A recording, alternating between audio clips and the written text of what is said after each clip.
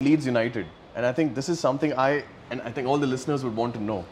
Uh, that's I think the first time you were formally introduced to coaching, right? That you had a coach who was you know now probably putting you in training sessions, giving you objectives, uh, and you know from there onwards to make it professional. Um, you know, I'm sure a lot of your peers in Leeds United didn't make it, but then you did, right? So I think for a young player today who's listening onto this podcast as well, um, you know, what are some of the things? Can you describe those experiences the first time at Leeds United? Uh, what were the difficulties you faced mentally, socially, physically as well? Uh, but and what really got you through this? Like you actually made it. Well, if, if, if we, we take the, the, the, four corners as we talk about, and I do talk about because I, I, you know it, it, it really interests me, and I've I've, I've spoke to a lot of uh, professors and, and professionals and professional coaches all over the world. You know, uh, one being John Herdman, who I was in uh, New Zealand with. He, he's now he took Canada to the, the, the World Cup. Fantastic insight, fantastic mind for a young boy. But for me, you see, it was, uh, and I say that love. Didn't get no formal coaching. We had the PE teacher, uh, we had the local coach, but you know, they turn around and says, if you're a good player, you can play. Go on and play. You don't need, go on and play. Be excited. Go on and learn. Make mistakes. We never got scolded for making mistakes, you know, at, in the younger ages because we had nobody to scold us. we just went out there and play, played. Yeah. Yeah. But once you start going now into that, okay, in a minute, I'm going on tryouts. I'm going for trials for me, uh, you know, my state team. I'm going trials for my city team. You know, now you start seeing, hang on a minute, now this is a lot different now from just playing regular community football. Sure. You're coming now to that stage where you're thinking, now it's getting a little bit harder, so I need to be that much better. And I remember going for my first try at Manchester City. Uh, and my, my first shirt was a Manchester City shirt. Now, living in Salford, not a lot of people had a Manchester City shirt. Yeah. That was probably because I was really fast, running away from all the Manchester United uh, fans all the time.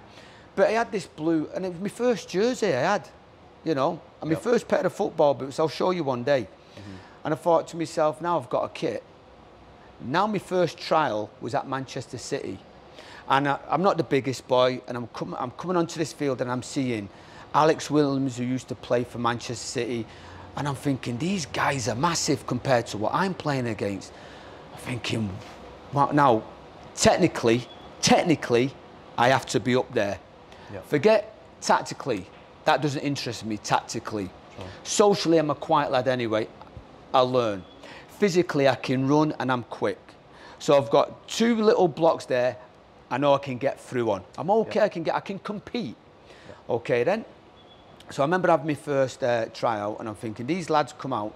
They had thighs like tree trunks. They had all their oil on, and, they look, and I'm thinking, my word, I'm never, I'm not going to be able to do this.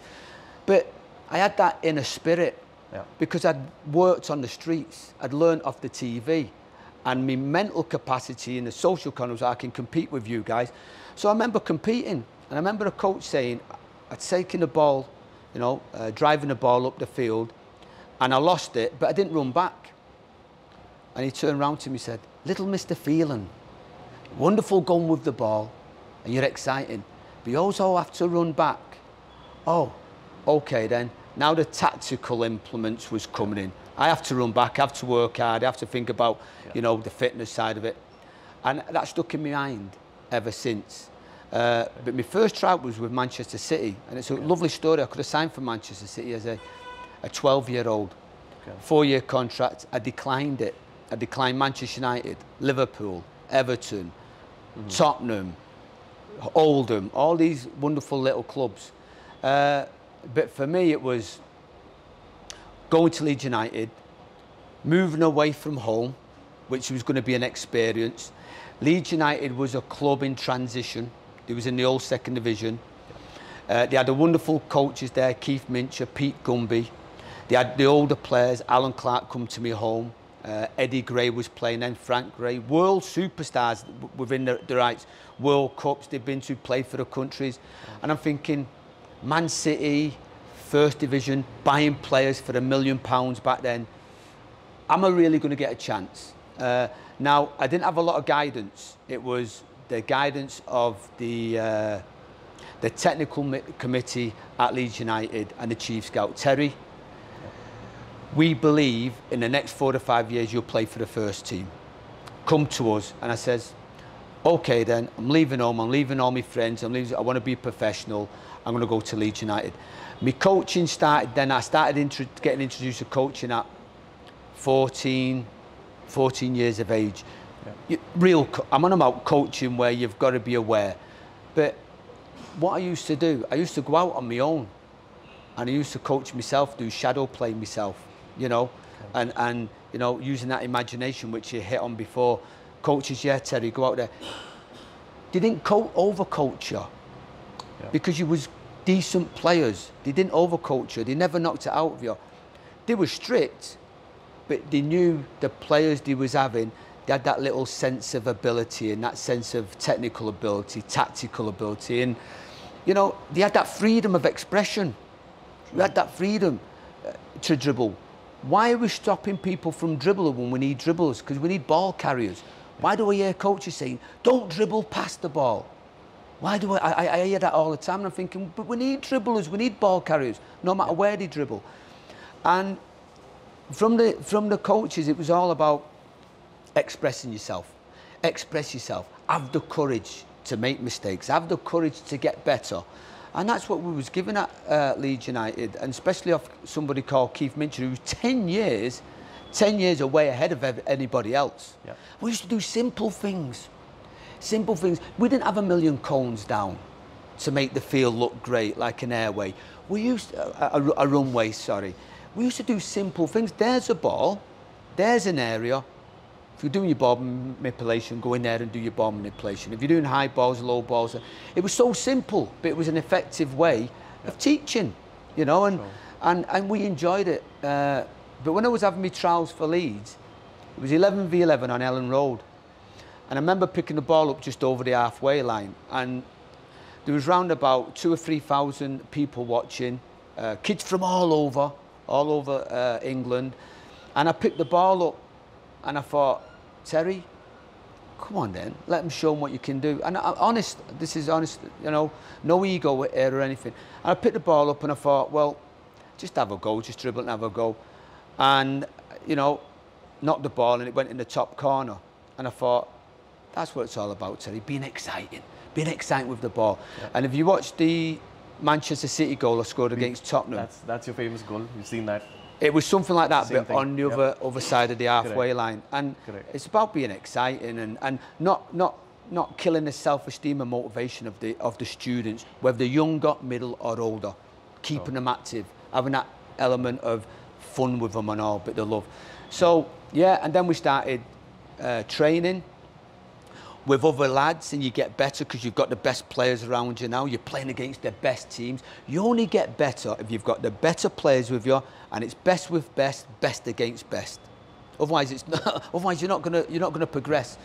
And it was brilliant, you know. You're playing against your Paul Gascoignes at Newcastle. You're playing against the Manchester Uniteds and your Mark Hughes in the youth teams. Surely you're getting better. Uh, but I used to relish relish the challenge, and it was it was great. The coaching was simple, but it was effective. You know, Right. we didn't have no uh, TV analysts. We didn't have no video analysts. We we didn't have all that then. Yeah. You know, we just had you go out there, use your imagination, and play, and be exciting. Correct.